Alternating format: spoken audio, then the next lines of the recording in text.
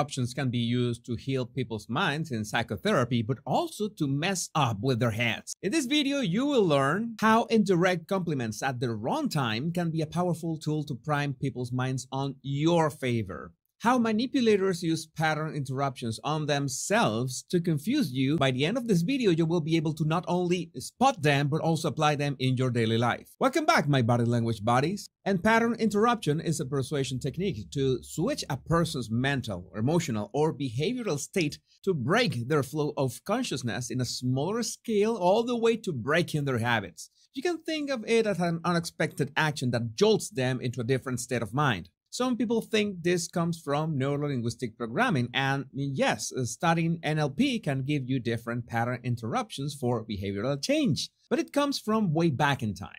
In my opinion, one of the pioneers to this technique was Milton Erickson, but the fundamentals are pretty much the same regardless if you're using it for psychotherapy or to defend yourself against manipulation. The first step is 1. Recognizing an unwanted pattern, which for our purposes could be any kind of behavior. Two, disrupting it by means of a word or a physical stimulus or both. And then three, lead the person away from the original behavior and into the desired behavior. Needless to say, this implies moral and ethics since you will be dealing directly with people's free will. So there's something that has to be said before you learn to use pattern interruptions. As any other mental warfare tool, you can use it to defend yourself or you can use it to attack other people. It's like a hammer. You can use it to build things, but some can use it for nefarious acts. So I'm assuming that you're going to use this knowledge for self-defense. And if you're afraid that toxic personalities could use this video and knowledge for their own purposes, well, I have bad news for you. They already know how to use this for their own purposes. So that's why I'm interested in you acquiring this tool so you can spot them instantly when someone tries to use them against you. That's why our first step is the most important. Not everyone that interrupts is doing it out of malice. Some people are just unpolite. Some of them just have little patience for you to finish what you're saying. But it doesn't mean that they are bad people. So once someone interrupts you, make sure you pay attention to what happens next.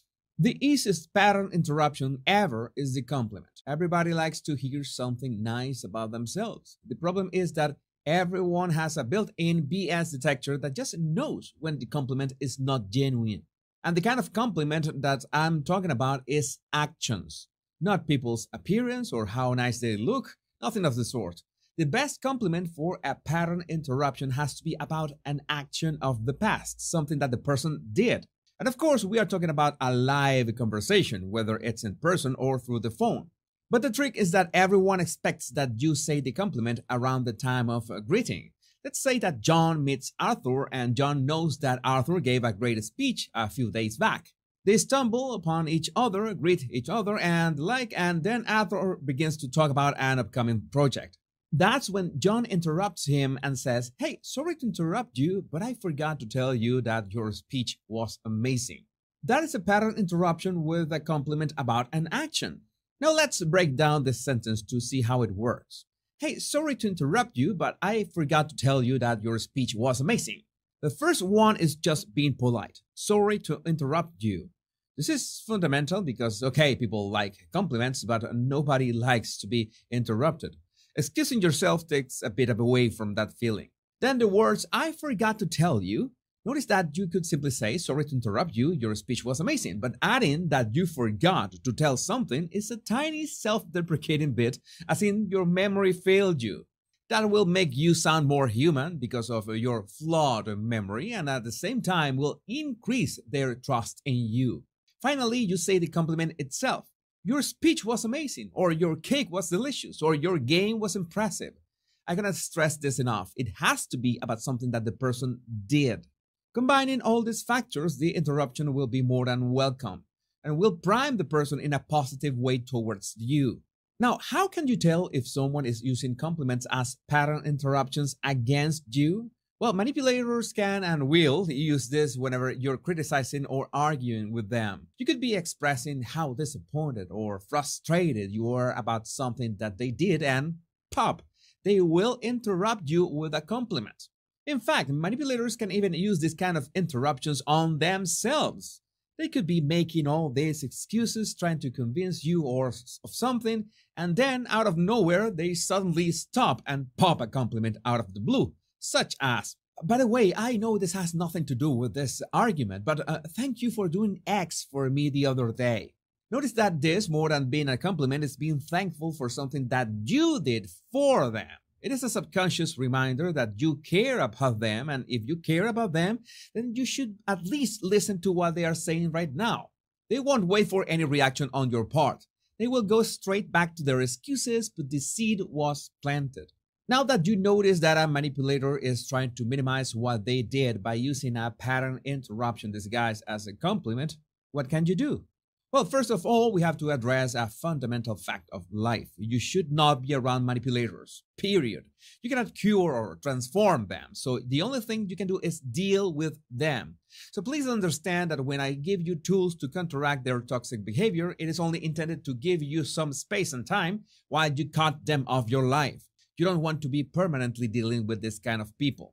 So they say, Oh, thank you for doing X for me the other day. And since they will go straight back to their excuses, you will need to interrupt them saying something like this Yes, I did it because I trust you, but that trust in you made me look like a fool this time. It might sound counterintuitive because uh, you're making yourself uh, look bad or a fool, but this is for a very good reason.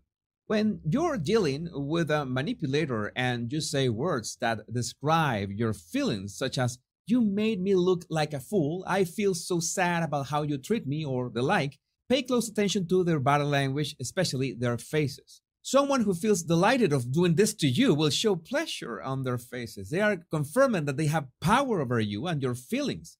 That makes them feel good and superior. Now, they won't do it if you are looking directly at them. That's why one of the body language lessons I always recommend in my courses and books is to learn to use your peripheral vision. So you say these words looking slightly away from them, but still paying attention to their faces. In general, any pattern interruption will spark a body language reaction, so it helps a lot to keep an eye on people while you're applying this tactic. At first, it's going to be a bit difficult to keep track of so many signals, but practice makes perfect.